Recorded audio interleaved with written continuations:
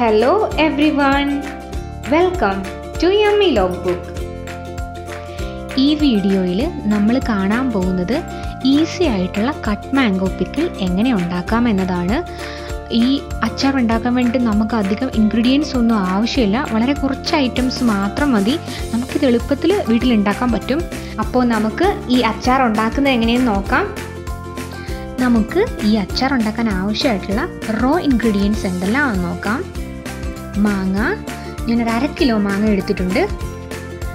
Fenugreek അഥവാ ഉലുവ three table spoon mustard അഥവാ കടുക് two tablespoon red chilli powder one tablespoon Kashmiri chilli powder three tablespoon vinegar three tablespoon gingelly oil അഥവാ നല്ലെണ്ണ four table spoon ഉപ്പ് ആവശ്യത്തിന്. ഇനി നമ്മൾ ചെയ്യേണ്ട കാര്യം മാങ്ങയുടെ മുനമ്പ് ഭാഗവും സ്റ്റാക്ക് റീജിയണും കട്ട് ചെയ്ത് കളയണം.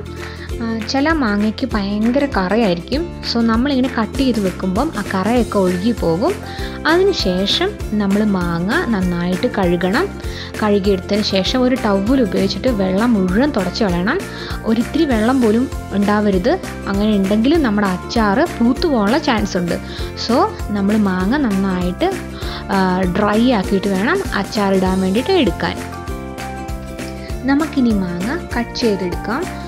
ഞാൻ ആക്ച്വലി കുഞ്ഞു ക്യൂബ് ഷേപ്പിൽ കട്ട് ചെയ്തിട്ട് എടുത്തിട്ടുണ്ട്. നിങ്ങൾക്ക് ഇഷ്ടമുള്ള രീതിയിൽ കട്ട് ചെയ്യാം. നമ്മൾ ഇനി ചെയ്യേണ്ട കാര്യം കട്ട് ചെയ്ത് വെച്ച മാങ്ങയിൽ റെഡ് ചില്ലി പൗഡറും ഉപ്പും കൂടെ മിക്സ് ചെയ്തിട്ട് അറ്റ്ലീസ്റ്റ് ഒരു ട്വന്റി മിനിറ്റ്സ് വെക്കുക എന്നുള്ളതാണ്.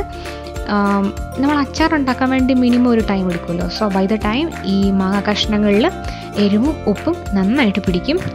അച്ചാറിൽ മാത്രം ഉപ്പ് ഉണ്ടായിട്ട് കാര്യമില്ല. ഈ കഷ്ണങ്ങളും കൂടെ നന്നായിട്ടുണ്ടാവണം. എങ്കിൽ മാത്രമേ അച്ചാറിന് ടേസ്റ്റ് ഉണ്ടാകത്തുള്ളൂ one tablespoon red chilli പൗഡറാണ് ഞാൻ എടുത്തിരിക്കുന്നത്. അത് മുഴുവൻ നമ്മൾ മാങ്ങയിൽ മിക്സ് ചെയ്യാൻ വേണ്ടിയിട്ടാണ് യൂസ് ചെയ്യുന്നത്. ഇനി നമുക്ക് ഉലുവ റോസ്റ്റ് ചെയ്തിട്ടെടുക്കാം ടോട്ടൽ നമ്മൾ എടുത്തിരിക്കുന്നത് ത്രീ ടേബിൾ സ്പൂൺ ഉലുവയാണ്. പക്ഷേ നമ്മൾ one point five tablespoon ഉലുവയാണ് റോസ്റ്റ് ചെയ്യുന്നത്. റിമൈനിങ് ഉലുവ നമ്മൾ അച്ചാർ ഉണ്ടാക്കുന്ന ടൈമിലാണ് യൂസ് ചെയ്യുന്നത് കടായി ചൂടായതിന് ശേഷം ഉലുവ ഇട്ട് കൊടുക്കുക.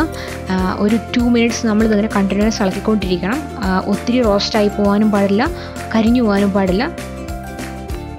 റോസ്റ്റ് ചെയ്തിട്ടെടുത്ത ഉലുവ നമുക്കിനി ഇതുപോലെ പൊടിച്ചെടുക്കണം. ഞാൻ മിക്സിയിലാണ് പൊടിച്ചിരിക്കുന്നത്. ഒറ്റ വട്ടം റൗണ്ട് അടിച്ച് എടുത്തിരിക്കുന്നത്. കല്ലിൽ വെച്ച് പൊടിക്കാം മിക്സിയിലും പൊടിക്കാം. പക്ഷേ പൗഡർ ഫോമിലായി പോകാൻ പാടില്ല. ഈ ഒരു കൺസിസ്റ്റൻസി വേണം നമുക്ക് കിട്ടാൻ. നമ്മുടെ ഇൻഗ്രീഡിയൻസ് എല്ലാം സെറ്റായി ഇനി നമുക്ക് അച്ചാർ ഉണ്ടാക്കാൻ തുടങ്ങാം. സെയിം ചീനച്ചട്ടി ഞാൻ അടുപ്പിൽ വെച്ചിട്ടുണ്ട്. ചൂടായ ശേഷം നമുക്ക് എണ്ണ ഒഴിച്ചു കൊടുക്കാം. അച്ചാർ ഉണ്ടാക്കാനുള്ള ബെസ്റ്റ് എണ്ണ നല്ലെണ്ണയാണ്. ഇതേം നല്ല ബ്രാൻഡാണ്. ഇത് ആക്ച്വലി ഞാൻ വേറെ ബ്രാൻഡാണ് യൂസ് ചെയ്തിരിക്കുന്നത്. ലോക്ക്ഡൗൺ ആയത് കാരണം നമുക്ക് ഇതേ അവൈലബിൾ ആയിട്ടുണ്ടായിരുന്നുള്ളൂ.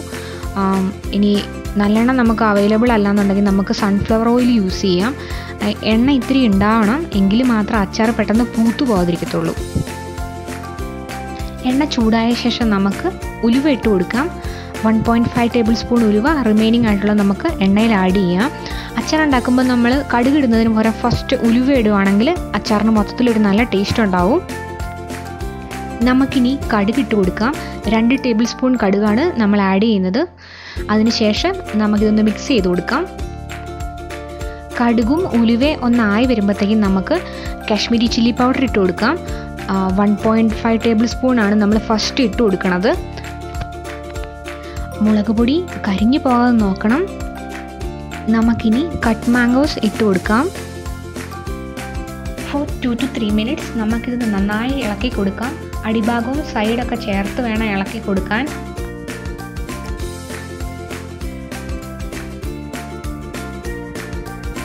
ഇനി നമുക്ക് remaining Kashmiri chilli powder add ചെയ്ത് കൊടുക്കാം. One point five tablespoon ആണ് നമ്മൾ ഇട്ട് കൊടുക്കുന്നത്. വിനാഗിരിയും ഉപ്പും ആഡ് ചെയ്ത് കൊടുക്കാം. ഈ ഒരു പോയിന്റിൽ നിങ്ങൾക്ക് ചാറുള്ള ടൈപ്പ് അച്ചാറാണ് വേണ്ടതെങ്കിൽ തിളപ്പിച്ച വെള്ളം അല്ലെങ്കിൽ തിളപ്പിച്ചാറിയ വെള്ളം ഒഴിച്ചു കൊടുക്കാവുന്നതാണ്.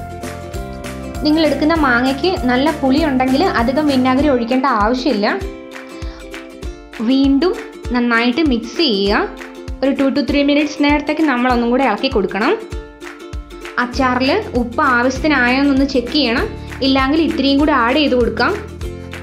ആവശ്യത്തിന് ഉപ്പുണ്ടെങ്കിൽ മാത്രമേ അച്ചാറിന് ടേസ്റ്റ് ഉണ്ടാവത്തുള്ളൂ. നിങ്ങൾ ഉപ്പിട്ടെങ്കിൽ ഒന്നും കൂടെ മിക്സ് ചെയ്ത് കൊടുക്കണം. ഇനി നമുക്ക് ഉലുവാപ്പൊടി ഇട്ട് കൊടുക്കാം.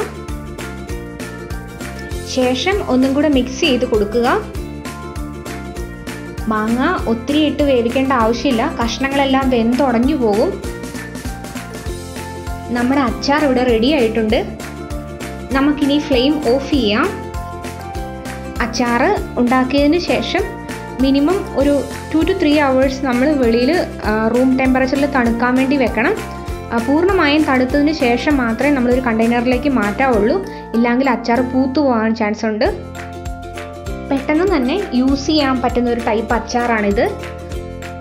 അപ്പോൾ നമ്മുടെ ഈ അച്ചാർ എല്ലാവരും വീട്ടിൽ ട്രൈ ചെയ്ത് നോക്കണം. നിങ്ങൾക്ക് ഇഷ്ടപ്പെട്ടെങ്കിൽ സബ്സ്ക്രൈബ് ചെയ്യുക. So until we see you in the next video, take care. Bye-bye.